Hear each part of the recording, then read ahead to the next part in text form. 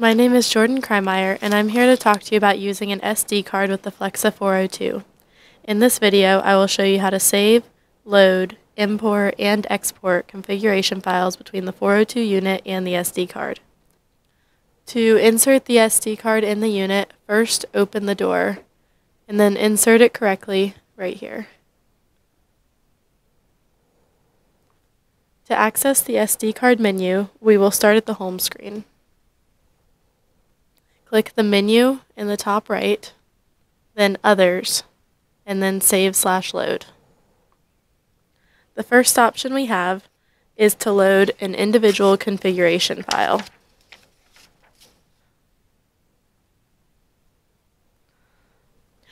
You need to first select an item and then a file name.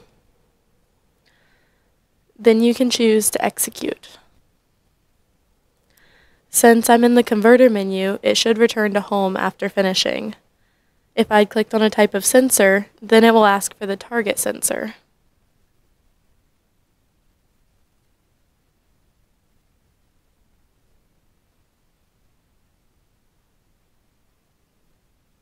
This is where I would input the correct target sensor and then choose to execute.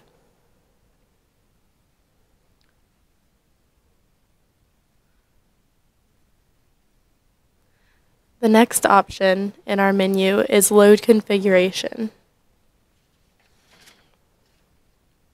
This will load the configuration data of all the sensors that are connected to the 402. So on this screen, after it loads, you will choose the correct file and then choose to execute it.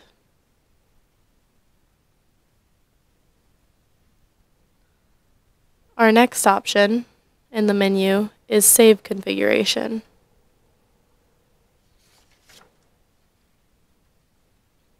This will save the current configuration set that, of the Flexa 402 and all its connected sensors. So here we will choose the file that we would like to save and then execute. Since there is already a file with the same name, we will choose to overwrite it. If I chose new name, then I could enter what I wanted to name the configuration. Then click this button and then execute a new configuration to save. The next option in our menu is delete individual configuration file. For this, you will go into the correct item and then choose the file that you would like to delete then execute. We also have the option to delete an entire configuration. Here, we would choose to delete the entire configuration set under the name T. Whenever we deleted the individual configuration file, it still remained in the set file. We go back to our main menu here. Our next option is to export all configuration. You will select New Name if you want to create a new folder, or you can select an existing folder.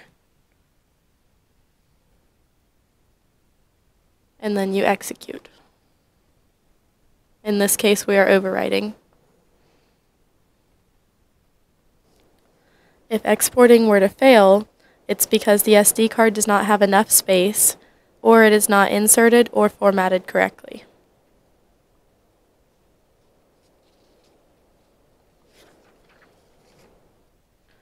Our next option in this menu is to import configuration. This will allow us to import set configuration data from the SD card to the Flexa 402. For this, we would select the folder that we want to import and then execute it.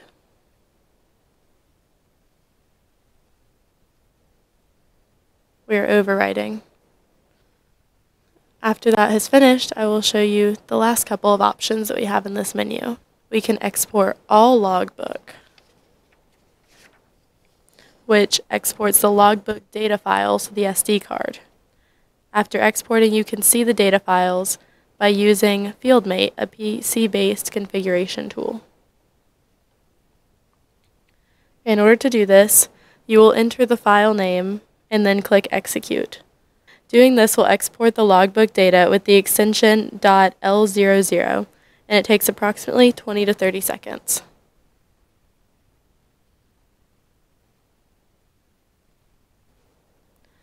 The last thing that I want to show you in this menu is that you can update the software. In order to do this, you need to use a file for software upgrade provided by Yokogawa with the file extension .f42. You put it in a folder of your choice located on the SD card. Then insert the SD card. Then you would choose to update the software here.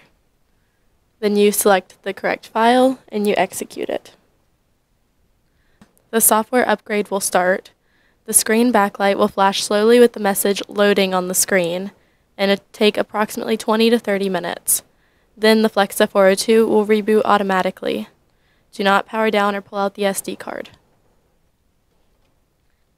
Now I'm going to show you an example of exporting a full configuration and then importing it into another device.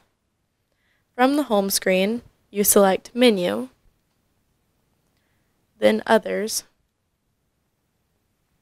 then Save slash Load. We're going to scroll down to Export All Configuration, and then select this box that says New Name so that we can create a new folder since we don't have an existing one. After typing in the file name, then we will select Enter and then Execute.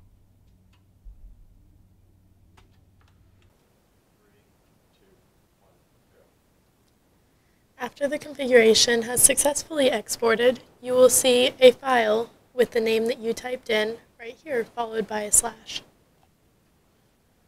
We are going to remove the SD card and put it into another device to show you how to import the new configuration into a different device. We are now looking at the second Flexa 402 device. So I have inserted the SD card behind this panel. We will click on Menu, Others, Save Load, scroll down until we see Import Configuration with the SD card symbol. And then we will click on the folder Test, which is the file that we exported from the other device. And then we will click on the configuration that we want and execute it.